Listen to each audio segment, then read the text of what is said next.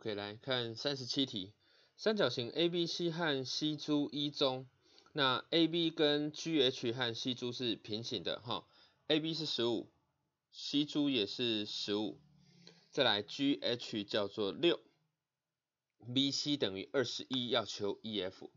好，我们先看右边的这个三角形，E 珠 C 还有 EGH，我知道 E 更正，我知道。E H 比上 E C，好，E H 比 E C 应该会等于我的六比十五，所以应该会等于二比五，对不对？好，所以我的蓝色这边就把这里先暂且叫做二 A，那这整个就叫做五 A。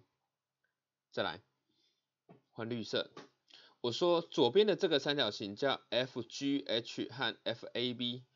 我知道 F H 比上 F B 应该也会等于我的六比上十五，所以它也会叫做二比五，所以老师把这里暂且叫做二 A，更正二 B，啊，整个 B F 也把它叫做五 B。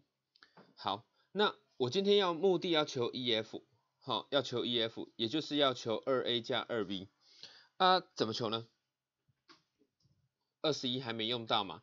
二十一怎么用？哈，来你看这边哦，我先把 B F 线段去加上 C E 线段，然后再去减掉重复的 E F 线段，是不是就会叫做 B C 线段？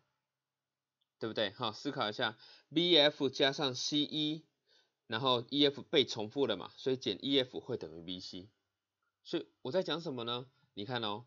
B F 我可以把它叫做五 B，那 C F 的部分更正 C E 的部分叫做五 A，然后再去减掉 E F，E F 不就叫做二 A 加二 B，结果就会等于我的二十一公分，所以你就可以得到三 A 加三 B 会等于二十一，所以 A 加 B